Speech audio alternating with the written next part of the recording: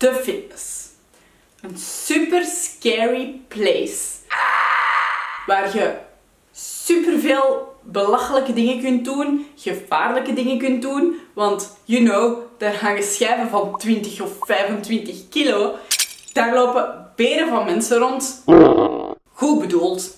Maar toch, als je niet zo goed weet wat je juist moet doen en als je niet gewoon bent met zo'n omgeving, dan is dat gewoon echt In deze video geef ik al dingen mee waardoor je worst case scenario's kunt uitsluiten en weet wat je moet doen.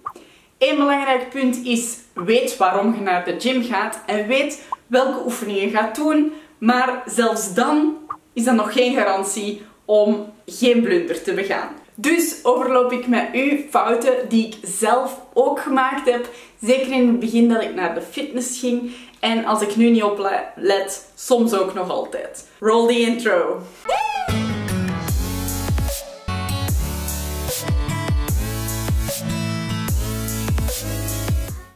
Hey team, welkom terug bij ons kanaal FitFix. Je weet wel waar we alles bespreken over fitness, gezondheid, actieve levensstijl en zo.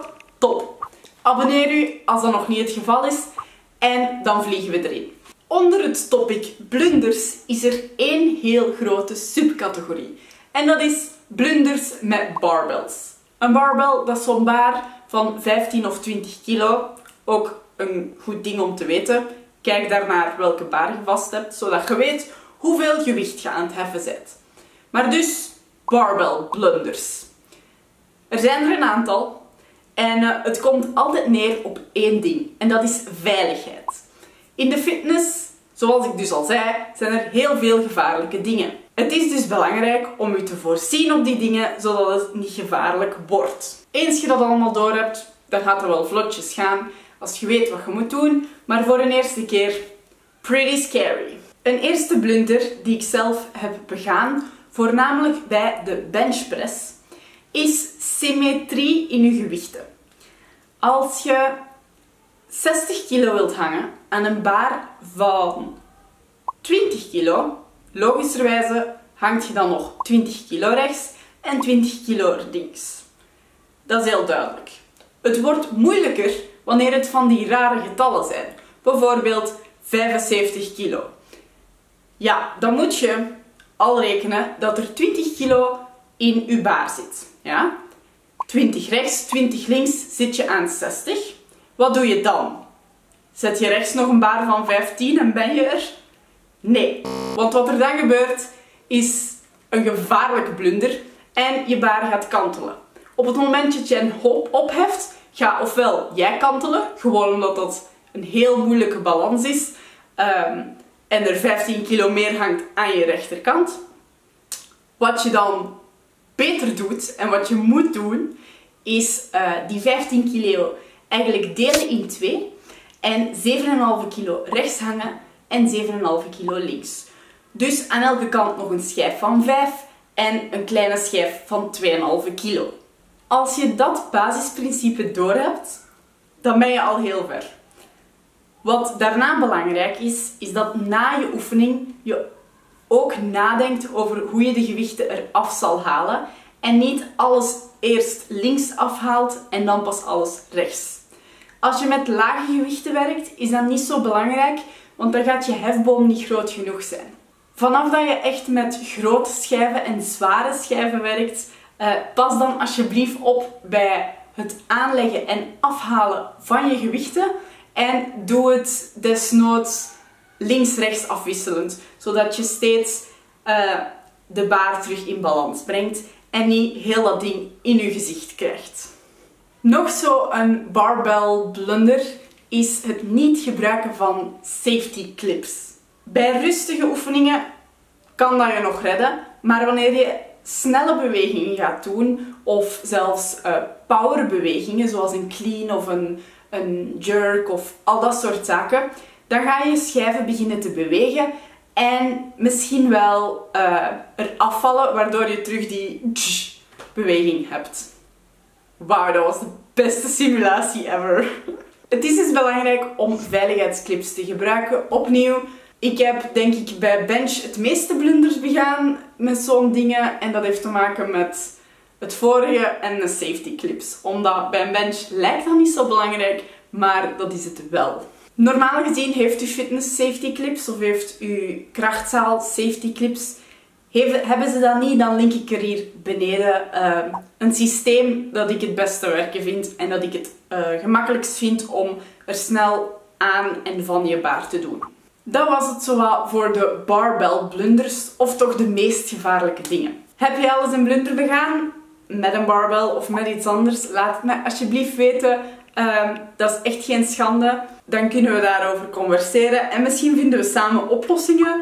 Of kunnen we nieuwe dingen bedenken. Of kunnen we eens lachen. Een tweede subcategorie is kleden. We weten allemaal dat in een fitness veel gekeken wordt laten we die negatieve fitnessomgeving omtoveren in een positieve. En laten we zelf een beetje naar onszelf kijken en uh, met positive vibes, not judging vibes, uh, gaan bewegen en uh, krachttraining doen.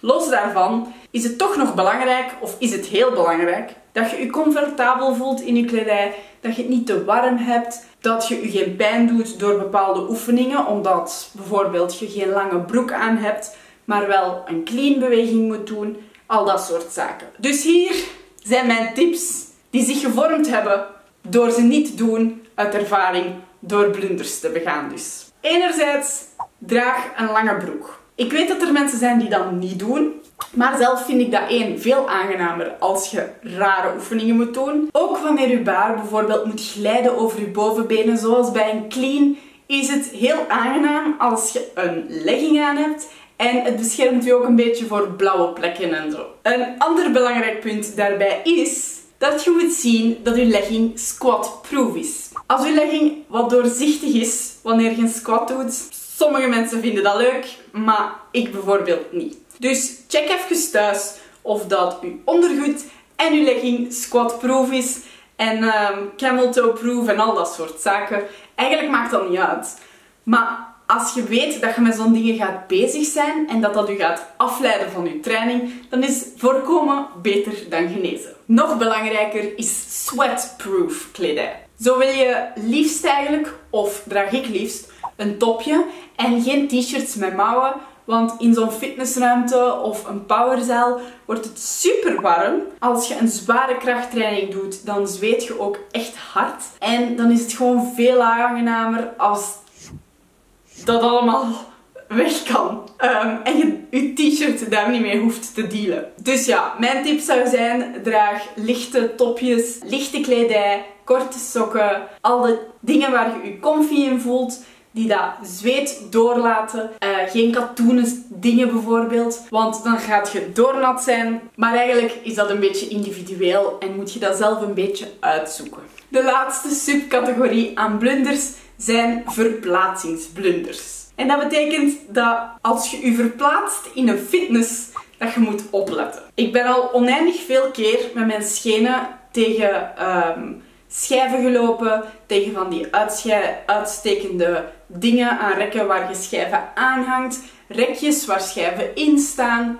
Meestal heeft het wel iets te maken met gewichtsschijven of barbells, maar uh, dat doet pijn. Kijk rond u als je materiaal weg gaat leggen. Zeker als je gaat rondlopen met zo'n baar en je gaat uh, rotaties doen. Zie gewoon dat je niemand op de grond uh, hit. Zie dat je zelf ook niet je onveilig maakt door in andere mensen hun bubbel te komen of hun workout, regio, ruimte. Omdat je nooit weet wat iemand exact aan het doen is of, wat die, of die een bepaalde beweging gaat doen, een uitvalspas, alle soort zaken. Let gewoon een beetje op. Vooral als je een koptelefoon of oortjes in hebt, dan uh, is dat extra belangrijk. Gewoon omdat je niet hoort wat eraan komt en wat er aan het gebeuren is.